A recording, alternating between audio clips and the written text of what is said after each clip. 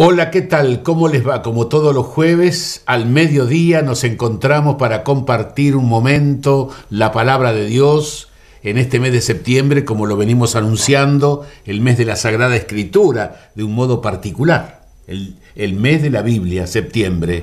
Escuchar esa palabra que nos hace bien al alma, escuchar esa palabra que nos ayuda a ser mejores en nuestra vida.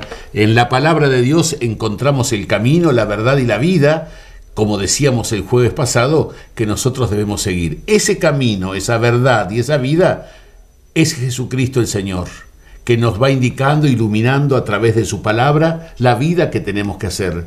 Y cuando nosotros aceptamos en nuestra vida a Jesús, el Señor nos propone un cambio. Y Él vino justamente, vino para traernos un cambio, una manera diferente de vivir. El ser cristiano, el ser creyente, es una manera, no es una ONG, no es una organización, es una manera diferente de vivir, vivir la vida cristiana.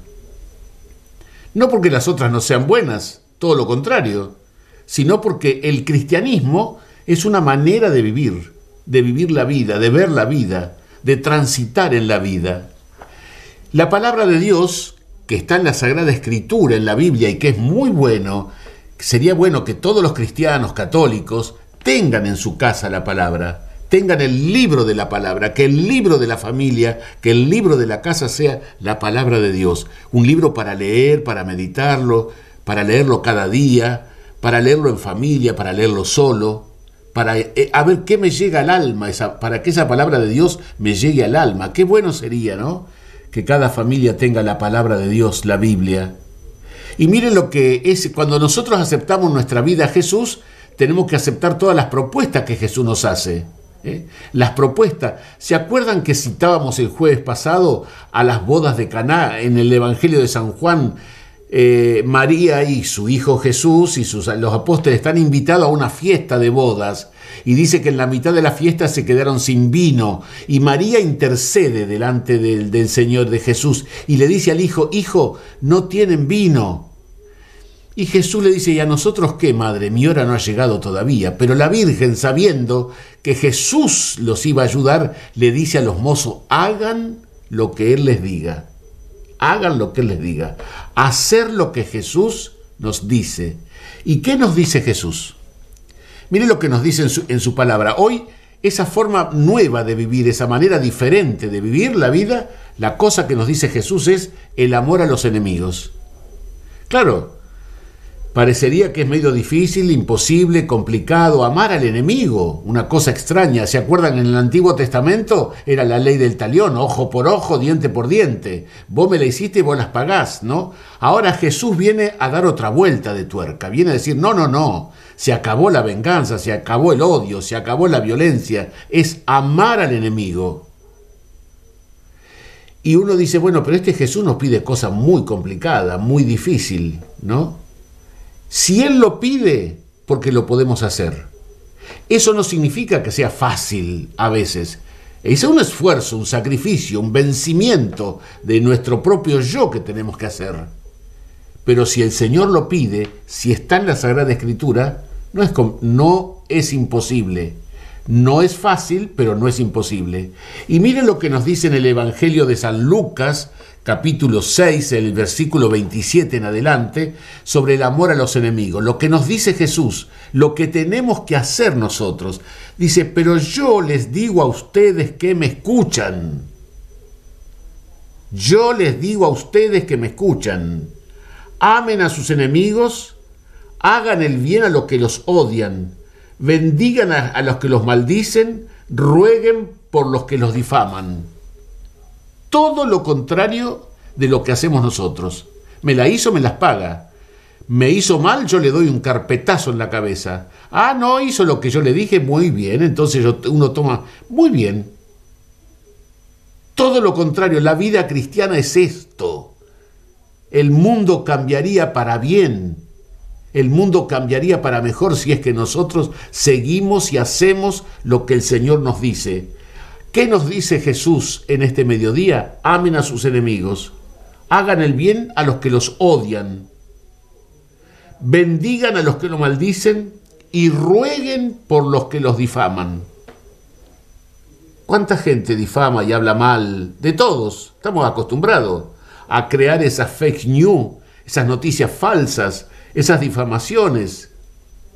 Ahora, ¿qué temple que tener? Hay que pedirle al Señor una gracia especial para decir, tengo que amar a aquellos que han atentado contra mi fama, contra mi vida, contra todo, que me han hecho trastabillar, tambalear.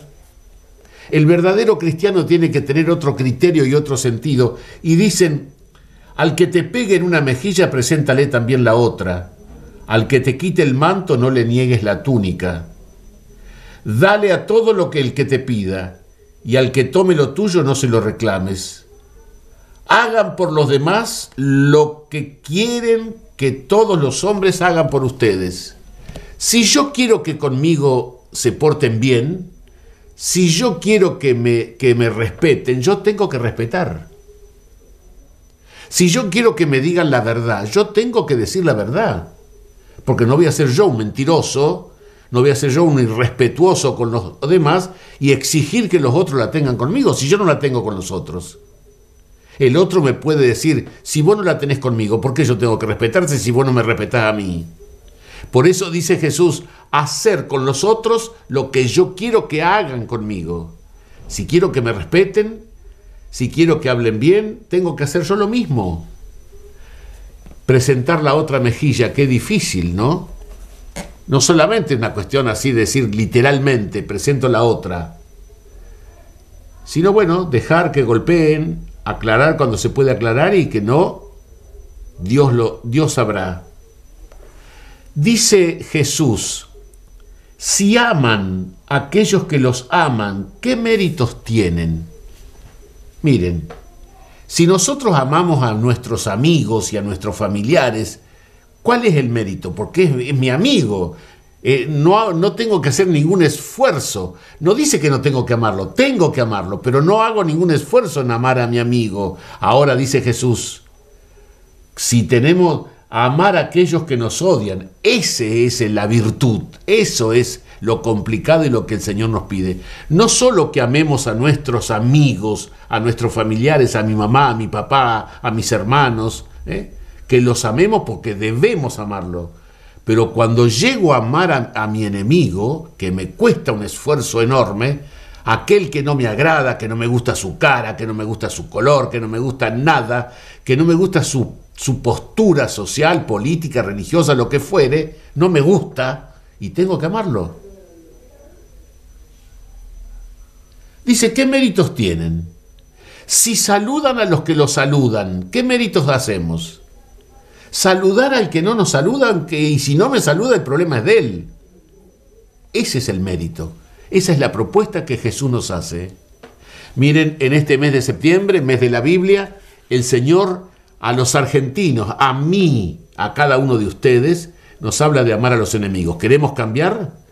¿Salto? ¿Queremos cambiar la sociedad? ¿Queremos cambiar nuestra familia? ¿Quiero cambiar yo? Escuchemos lo que nos dice Jesús. Muchas gracias y nos encontramos el próximo jueves, si Dios quiere.